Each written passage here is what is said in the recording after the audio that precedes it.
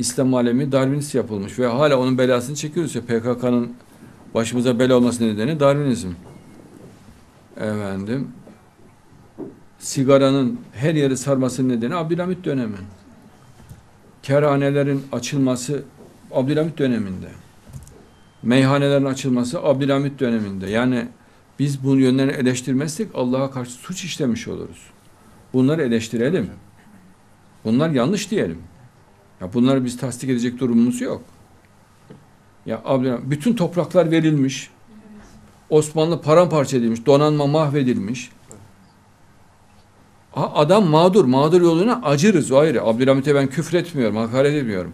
Mağdur yönüne acırım ama kahraman değil yani. Evet. Yok İsrail'e efendim e, toprak vermeyi asla kabul etmem demiş. Theodor Herzl de işte çık bir emelun demiş. Adamı dışarı ya böyle bir şey yok. Baş danışman adamın neredeyse. Gece gündüz sarayla beraberler. Dürüst doğru olun. Yani samimi konuşun. Adam senin için adam öldürürüm diyor Theodor Herzl. Ve Musevilere ilk İsrail toprağının oluşacağı şekilde toprak veren Abdülhamit.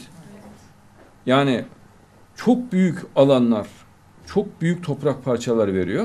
Yani bir devlet kurulacak kadar büyük toprak parçası veriyor.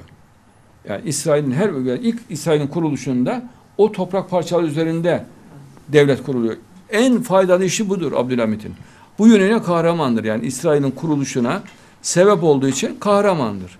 Hakikaten o mazlumları orada muhafaza etti. Onlara imkan tanıdı. Kanun da çıkarttı. Topraklar satılamıyordu. Toprakların satılması için kanun da çıkarttı. İsrail'in orada devlet olmasını sağladı. O yönünden Allah razı olsun. O mazlumları ezdirmedi. Onu takdir ediyoruz ama tam aksini söyleyip kahramanlık edebiyatına gerek yok.